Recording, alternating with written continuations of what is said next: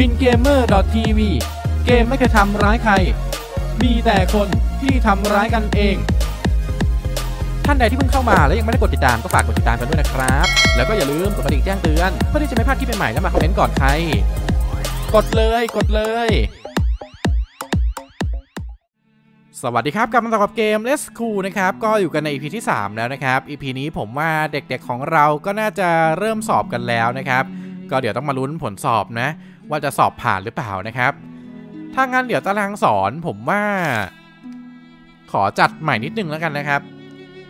เพราะว่าไอ้ตรงวิชาศิลปะนะครับเขาไม่มีสอบนะงั้นเดี๋ยวยกเลิกไปก่อนละกัน ให้อาจารย์ดอนหน้าไปขายกับข้าวอย่างเดียวครับ ตอนนี้ แล้วก็เดี๋ยวเราจะเน้นสอนวิชาหลักเพิ่มเติมแล้วกันนะ วิชามนุษยธรรมนะครับ แล้วก็วิทยาศาสตร์เพิ่มเติม น่าจะเหลืออย่างละสี่คาบนะครับ แต่ว่าด้านล่างนี้มันยังปลดล็อกไม่ได้เนอะกำลังวิจัยอยู่นะครับ ต้องรอการวิจัยด้วย แล้วก็ตัวอาคารนะครับ ผมอยาก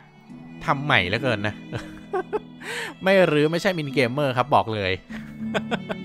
quest นี้ก็คือเขาให้สร้างตัวผนังเพิ่มนั่นเองนะ ตัวอาคารเพิ่มนะครับ เพราะฉะนั้นเดี๋ยวเราขยายก่อนแล้วกันถ้างั้น มันกี่ช่องเนี่ยหนึ่งสองสามสี่ห้าหกหกช่องเจ็ดแปดเก้าสิบสิบเอ็ดสิบสองนี่ก็เป็นสิบสามใช่ไหม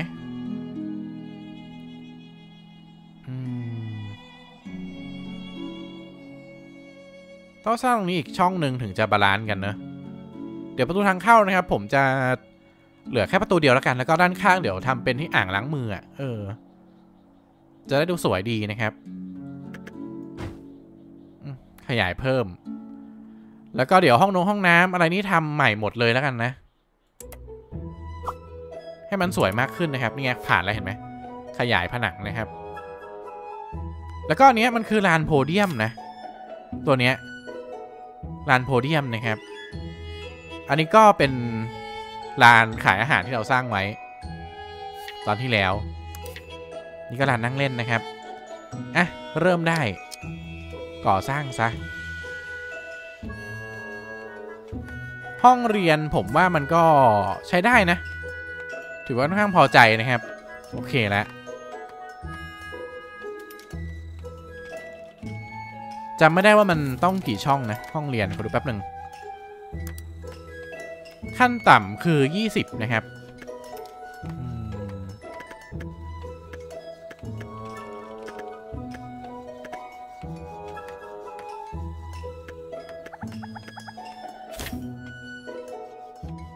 อันนี้32เอ๊ะมันก็ลดขนาดได้นี่หว่า แล้วก็เดี๋ยวประตูอาจจะไปอยู่หน้าห้องไม่ก็หลังห้องนะครับ ไม่ก็สร้างสักสองประตูเลยแล้วกัน เพราะว่าจะได้แบบไม่ต้องมาติดกาตรงโต๊ะนักเรียนนะครับ นี่มันเหลือช่องว่างช่องหนึ่งเห็นไหมเออ นี่คือต้องค่อยๆคิดนะ ตอนแรกยังคิดไม่ออกค่อยๆปรับแก้กันไปครับรื้อตลอดมินเกมเมอร์ แสดงว่าต้องเป็นตัวจริงนะ ต้องมีรื้อนะรื้อแล้วรื้ออีกเป็น signature ไปแล้วครับตอนนี้เพราะอัวชอบรื้อยังไงล่ะ เออสอนไปนะครับ แล้วก็อาจารย์หลินรู้สึกว่าจะ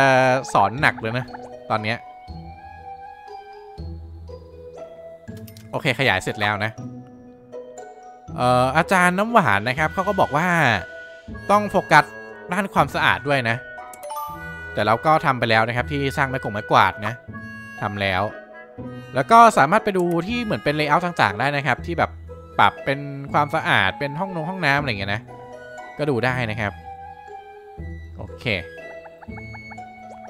อันนี้เดี๋ยวขายไปก่อน ทางเข้าเหลือแค่ทางเดียว เอ่อ ห้องวิจัย ย้ายมาก่อนแล้วกัน ย้ายมานี่สิอะวิจัยเสร็จพอดีนะครับ วิจัยต่อเป็นเอ่ออันนี้ครับ วิชามนุษยธรรมเพิ่มเติม เพราะว่าต้องปลดล็อกวิชาตรงนี้นะ เนี่ยเนี่ย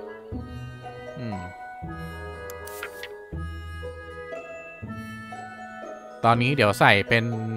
อ่างล้างมือครับ อ่างล้างมือ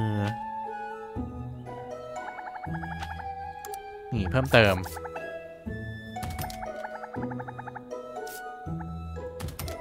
สักหกแล้วกันนะ อันนี้เดี๋ยวขายทิ้ง เมื่อกี้ก็มีแจ้งเตือนมานะครับเขาบอกว่าอีก 2 วันนะ จะมีการสอบมาแล้วนะครับ ต้องโฟกัสการเรียนรู้ อันนี้เดี๋ยวแต่งต้นไม้เพิ่มเติมแล้วกันนะ ของแต่งก็ยังมีไม่ค่อยเยอะนะครับอ่าติดหน้าต่างดีกว่า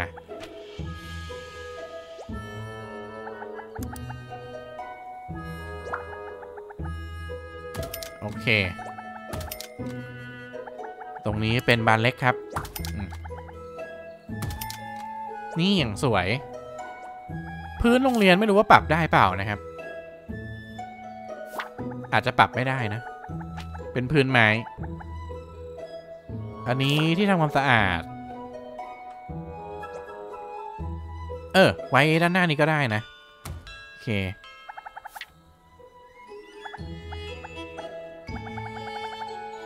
แต่ดูไม่ค่อยสวยเลยฮะ อาจจะต้นไม้ขยับมานี่ เอ๊ะแต่ว่าคนจะเข้าไปเอาอยัางไง ก็ไม่ได้เนอะขายไปอันหนึงแล้วกันแล้วก็อันนี้ใส่นี่ โอเคอะเดี๋ยวห้องนู้นห้องน้ำห้องนี้เดี๋ยวลบไปก่อนแล้วกันนะครับ ลบเลยทำใหม่ ขอแบบสวยๆห้องน้ำผู้หญิง ประมาณนี้ ประตูทางเข้า ถ้าใส่เป็นประตูเล็กได้ไหมอ๋อก็ได้นะครับ แต่ประตูใหญ่ได้ความสวยงามเยอะกว่านะประตูใหญ่ไปแล้วกัน แล้วก็ห้องส้วมนะครับ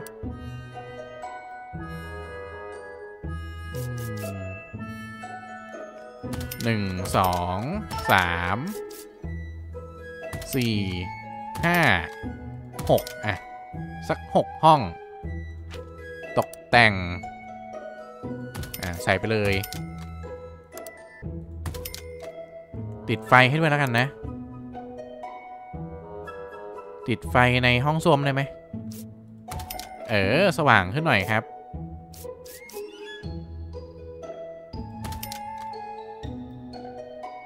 ประมาณนี้ เรียบร้อย ก็ห้องน้ำผู้ชายครับ นี่วางนี่เลย เหมือนกันคล้ายๆกันปึ๊บปึ๊บปึ๊บไอ้ตรงเลขที่ทับนี่คือความต้องการนะครับ คือตอนนี้เราสามารถเอ่อ service เขาได้ทั้ง 37 นะ แต่ความต้องการตอนนี้คือแค่ 8 นะครับ ก็สร้างเผื่อไว้เลยแล้วกันนะ มีเหลือดีกว่าขาด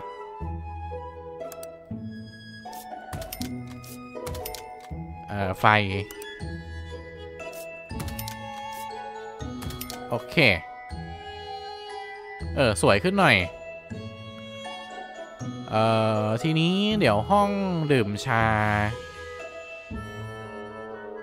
ห้องดื่มชา เดี๋ยวด้านหน้ามี ถังขยะ เพิ่มแล้วกันนะ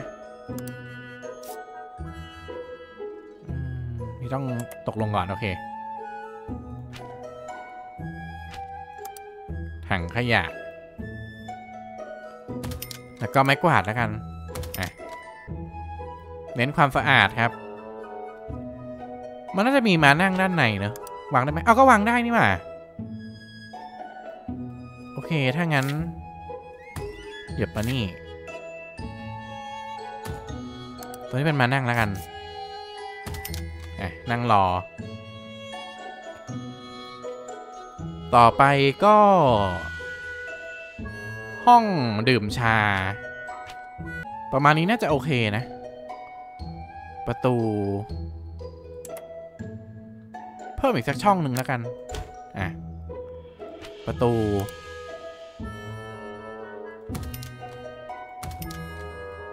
สองประตูไปเลย แล้วก็หน้าต่าง หน้าต่างบานใหญ่เลย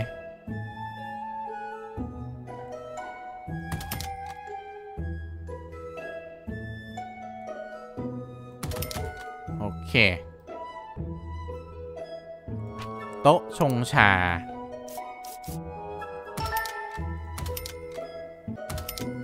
อันนี้ตกแต่งเฉย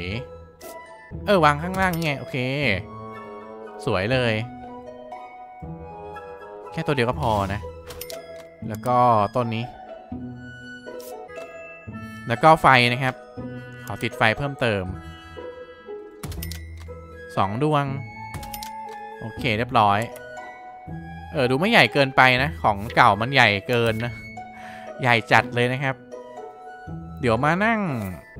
มานั่งเพิ่มด้วยแล้วกันนะ ติดเกินไปปะเนี่ย แต่ก็นั่งได้แหละ โอเค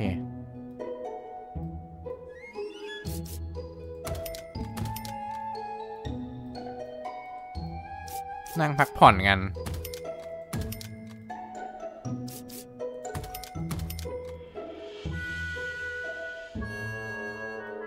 ประมาณนี้ แล้วก็เงินทุนของเราเหลือสามหมื่นนะ เดี๋ยวขอเก็บไปก่อน น่าจะไม่สร้างอะไรเพิ่มเติมแล้วนะ ดูแบบสวยขึ้นเยอะ ความสะอาด โอเคนะ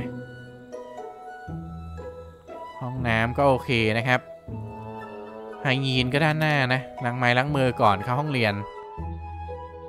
เอ่อเอาต่อไปต้องการแผนกการจัดการแล้วนะครับ แผนกการจัดการโดยเฉพาะ ห้อง service ก็มันก็ใช้ได้นะ เนี่ย คือเขาต้องการแค่ 3 เองนะครับ เราสร้างไป 12 เลยนะ เออ ก็พออยู่นะครับ แล้วก็อาหารนี่แบบโหต้องการแค่ 13 แต่เราสร้างไป 52 เลยอะอย่างเยอะ อาจจะใหญ่เกินไปด้วยนะ เดี๋ยวค่อยปรับแก้กัน อะเร่งเวลาครับ รอเรียนให้เสร็จ ครับสามแล้วเอ่ออันนี้นะครับเขาบอกว่านักเรียนใหม่ที่จะเข้ามานะครับ ก็จะส่งมาแค่ 3 วันแรกนะ แต่ว่า 2 วันสุดท้ายนะครับ จะต้องโฟกัสการเรียนการสอนนะ จะไม่มีเด็กมาเพิ่มแล้วนะครับ โอเค แล้วก็ห้องวิจัยเนี่ยมันมันอัพเพิ่มได้ไหมแบบอัดพนักงานเพิ่มได้ปะ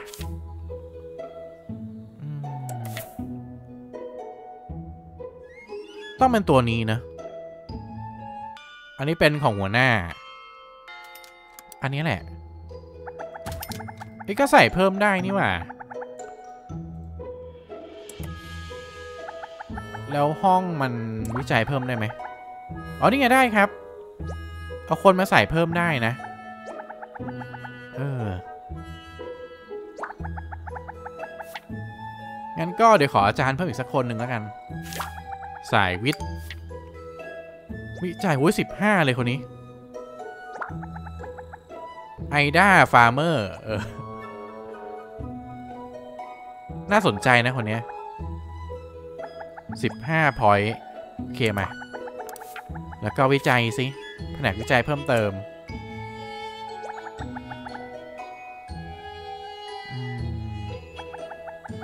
โอเค ใส่เข้าไปเพิ่มครับ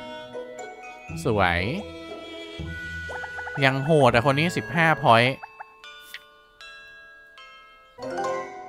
โอเคเรียบร้อยครับวิจัยเสร็จแล้ว ต่อไปวิจัยอะไรดี การจัดการ Campus Security ความปลอดภัยไลฟ์สไตล์ เอ้ยร้านเด็กเล่นไหมเออ เพิ่มความสุขให้เด็กหน่อยแล้วกัน อ่าอันนี้ครับเขาบอกว่าให้สร้างเป็น Management Office นะครับ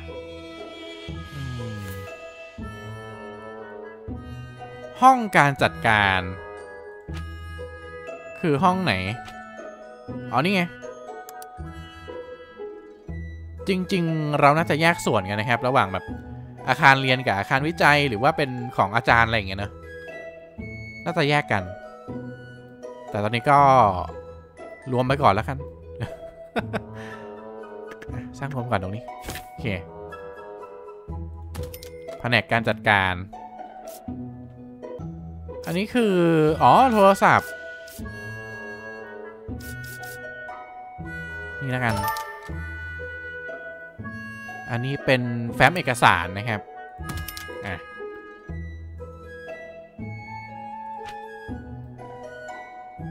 เท่านี้ก่อนแล้วกัน เออต้องแอดไซน์คนจัดการเข้าไปนะแผนกนี้จะเรียกของโรงเรียนว่าเป็นแผนกอะไรอะธุรการไหมไม่รู้ใช่หรือเปล่านะครับ ต้องเน้นค่าการจัดการก็จานใหญ่นะไปเอาแต่ว่าจานใหญ่ลงไม่ได้แฮะเพราะว่าอาจารย์ใหญ่ยังไม่มีใบรับรองนะครับ เออ งั้นก็จานหลินไปแล้วกันถ้างั้น จานหลินจานหลินอีกแล้วเหรอเนี่ย รับบทหนักเลย แต่ทำไมจานใหญ่เราอันนี้ไม่ได้ล่ะ เลือกโมดูล การจัดการ ก็โฟกัสที่การเรียนการสอนก่อนแล้วกันนะ โอเคแผนกการจัดการครับ เขาบอกว่าให้ลาก เอ่อคลาสนี้นะครับ ไปที่การจัดการนะ อ๋อ ประมาณว่าเหมือนเป็นฝ่ายเป็นแผนกปะเป็นแผนกแยกย่อยอะ่ะ คือเรียกไงดีอะเออเหมือนแบบเหมือนการจัดการแผนกนี้ก็ก็คุมในส่วนของชั้นปีหนึ่งอะไรก็ว่าไปอย่างเงี้ยอะไรอย่างงี้ไหมแล้วก็เหมือนว่าถ้าเราสร้างแผนกใหม่ขึ้นมานะครับ เน้นเป็นการวิจัยก็ลากสายวิจัยเข้ามานะ ให้มันตรงสายนะครับประมาณนั้นอะเออ เหมือนช่วยบัฟกันให้ดีมากขึ้น น่าจะใช่เนอะแต่ว่าอาจารย์โฮมนูมจะออกไปแล้วนะครับงั้นอาจารย์ใหญ่เป็นอาจารย์ประจำห้องไหมโอเค จริงควรจะสลับกันนะเนี่ยนะ เออ เอ้า แต่ว่าถ้าเราเอาอาจารย์ใหญ่ออกไป ก็จะไม่มี ห้องผออแล้ว งั้นไม่ได้แฮะอาจารย์คนอื่นแล้วกันถ้างั้น งั้นเอาเป็นอาจารย์ดอนน่าแล้วกัน โอเค อย่างนี้เต็นเต็นขายอาหารจะมีคนขายไหมเอ้ย คนเขาไม่ขายแฮะคืออาจารย์หนึ่งคนต่อหนึ่งแผนกนะครับ ถ้างั้น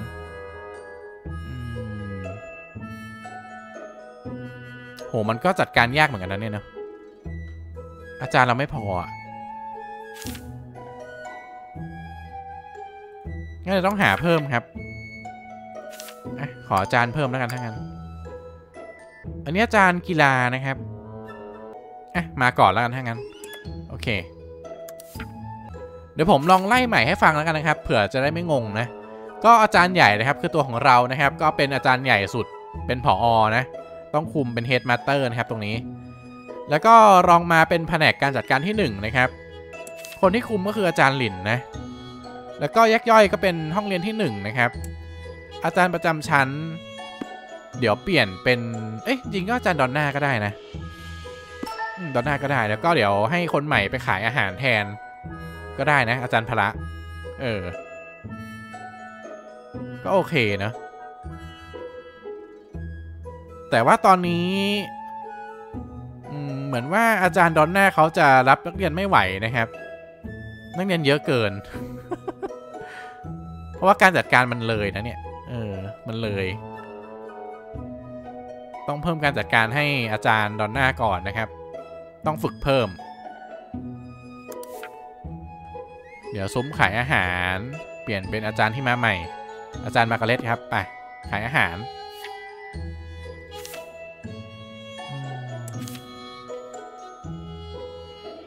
นกวิทยาศาสตร์ก็รู้สึกว่า หัวหน้าที่เป็นสายวิทย์ก็จะมีค่า management ที่น้อยนะครับ ไม่พอหนึ่งแต้ม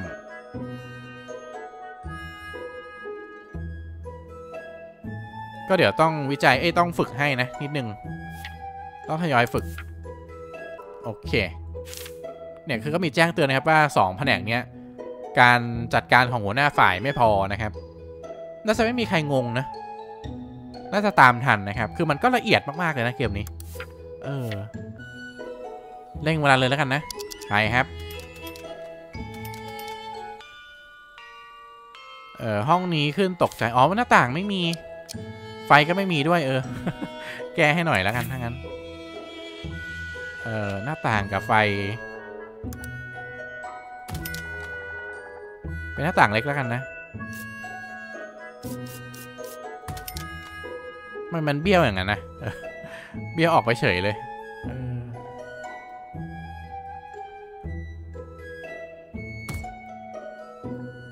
อะไฟไฟ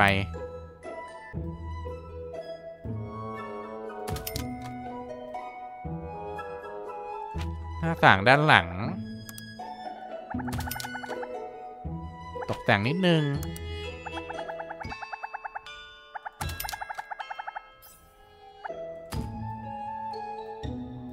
เออ ดูสวยขึ้นหน่อยนะ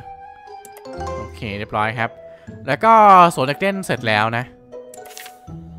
เดี๋ยวเราวิจัยอเอาเป็นสคูรีฟอร์มเลยไหม ไปเลยแล้วกันถ้างั้น เหมือนเป็นการอัปเกรดโรงเรียนนะครับ อ้าว วันวาร์ปมาแล้วเนี่ย จบวันแล้วอย่างไว อันนี้ฝึกเสร็จแล้วนะครับ เดี๋ยวเราฝึกอาจารย์ต่อสิเดี๋ยวอาจารย์ที่ฝึกเพิ่มนะครับ ต้องเป็นครูประจำชั้นไหมโอเคใช่นะครับ ฝึกเพิ่มสิอาจารย์ดอนน่า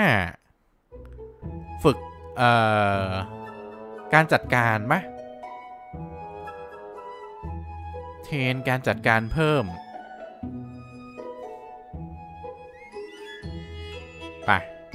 ห้าชั่วโมง คือจะได้คุมนักเรียนได้นะครับ ไม่งั้นแบบค่าคุมมันน้อยไป เลยคุมไม่ได้นะ เออ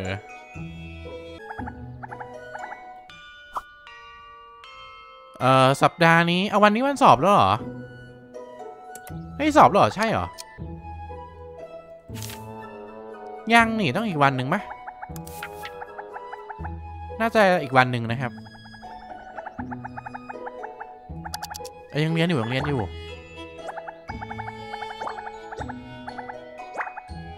แต่วันนี้วันสุดท้ายแล้ว การเรียน แล้วก็แต้มวิแต้มมันขึ้นไปร้อยกว่าแล้วนี่หว่า น่าจะสอบผ่านนะครับ นี่ไง เหมือนการันตีว่าสอบผ่านแน่นอน ประมาณนั้น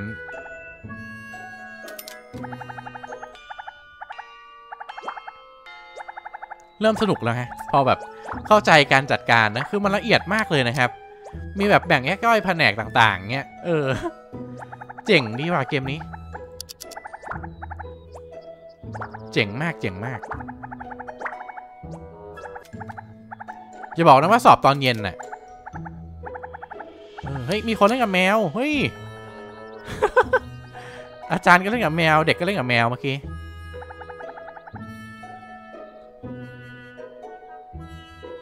นนี้อะไรอะ อ๋อต้องการห้องพักปะอาจารย์ต้องการห้องพักนะครับ เหนื่อย เหนื่อยจัด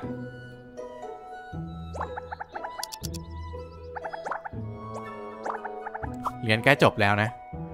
โอเคฝึกเสร็จแล้วนะครับ เดี๋ยวเรามาดูว่าไอการจัดการมันเยอะขึ้นไหม อันนี้ไงจริงด้วยครับ เห็นไหมเป็นสีฟ้าแล้ว เดี๋ยวคนนี้ แผนกวิจัยก็ต้อง อัพเพิ่มนะ อัพการจัดการเพิ่มเอาเดี๋ยวเดี๋ยวเดี๋ยวใจเย็น ลั่นลั่นลั่นคนนี้ครับ ฝึกการจัดการเพิ่มไปเฮ้ยทำไมต้องหมื่นหนึ่งเลยอะโอ้ยยังแพง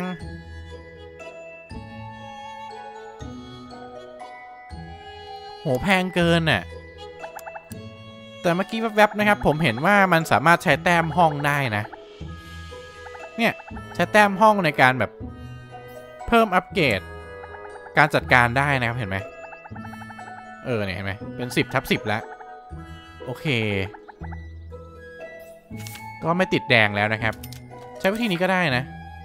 ใช้แต้มการจัดการไปอัพอีกทีหนึ่งโอ้เกมโคตรละเอียด เออ สุดจริงเกมนี้ ไม่ธรรมดา โหอะเดี๋ยวจะมาดูซิว่า วันสอบจะเป็นยังไงนะครับ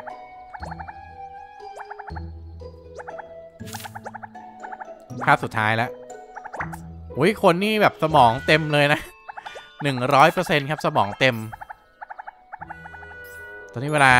สี่โมงเย็นโอเคใกล้กลับบ้านแล้ว เออ นี่คืออะไรอะ อ๋อมีเด็กมาแอบเล่นแฮะ แอบเล่นเกมเหรอ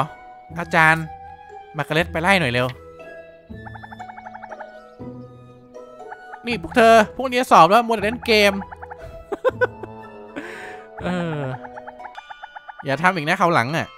ตั้งใจสอบ เออ เจ๋งว่ะ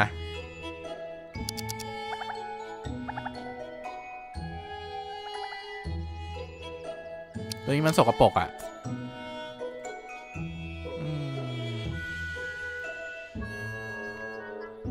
แต่ก็อยู่ในขอบเขตการทำความสะอาดนะครับ ต้องรอหรือมั้ง Research Complete School Reform อุ้ยก็เป็นแบบเหมือนอาคาร อาคารที่เป็นเขาเรียกไง เป็นซีเมนต์ไหม เออ เหมือนดีขึ้นนะครับ ไปต่อแล้วกันถ้างั้น เอ่อ ไปนี่เลยแผนกทำความสะอาดไหม มีเครื่องเป่ามือด้วย เออ เฮ้ยแผนกพยาบาล ต้องมาแล้วมั้งพยาบาลก่อนแล้วกันถ้างั้น โอเคเอ่อจาลินบอกว่าตอนนี้เราสามารถไปทำความสัมพันธ์กับโรงเรียนอื่นได้นะ เฮ้ย โอ้มีการแบบข้ามเขตด้วย โอ้ยังเจ๋ง สามารถแบบไปช่วยโรงเรียนอื่นได้ด้วยนะครับ อันนี้เหมือนไปสเกลก่อนอะเขาเรียกอะไรไปทัศนศึกษาเออประมาณนั้นอะอะไปสิ เฮ้ยยังเจ๋งว่ะ ไปแอบดูคู่แข่งได้นะ เออ ประมาณนั้น นี่อะไรอะ คือมีความสุขหรืออะไรเนี่ยทำไมหน้าแปลกๆ เหมือนหน้ายิ้มนะ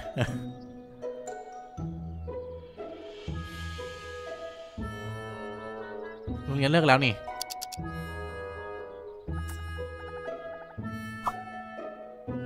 เอ่อวันสอบคือพรุ่งนี้นะครับ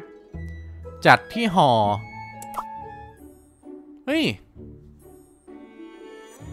เฮ้ยการสอบรู้สึกว่ากราฟิกจะสวยขึ้นนะ โอ้อย่างเจ๋งเลย แล้วก็สอบเสร็จแล้วนะครับ เป็นไง คะแนนการสอบ excellent โหเหมือนว่ามีนักเรียนทำคะแนนเต็มไม่ตั้ง 11 คนเลยนะ อย่างเยอะ เอาว่ะ อืม กรดแรงอุ้ย มีแข่งกับโรงเรียนอื่นด้วยนะ โรงเรียนของเราอยู่ที่โอที่โลเลย ที่เก้านะครับตอนนี้ที่เก้าโรงเรียน เอาเรื่องไว้เกมนี้ excellent ครับ A ก็จะได้เงินมา 7,800 นะ แล้วก็เป็น เอ่อ แต้ม แต้มของแผนกต่างๆ นะครับ ตามวิชาต่างๆ อืม โอเค แล้วก็จะเป็นเพิ่มความสัมพันธ์กับพวกชุมชนต่างๆ ด้วยนะครับ ที่เราไปรับนักเรียนเข้ามานะ เนี่ยจาก 58 เป็น 83 เลยโอ้อย่างเยอะอืมเฮ้ยขอดูว่าคัสซีนอุ้ยแต้มอย่างเยอะเลยไปใช้ทำอะไรอะ่ะอืมอันนี้อัปเกรดได้นะครับไป สอบผ่าน อุ้ยผ่านเลยเวลอัพ งเรียนเวลสองแล้วนะครับตอนนี้ อุ้ย แล้วก็เควสก็จะเปลี่ยนไป อัปเกรดได้ตังค์ด้วยนะ ได้ตังค์และรูปปั้นนะครับ โอ้โห เอาเรื่องเลยเฮ้ย อัปเกรดเรียบร้อย อะ ก็ถ้างั้น EP นี้ไว้เท่านี้ก่อนแล้วกันนะครับนะ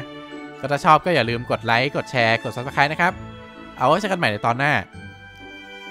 บ๊ายบาย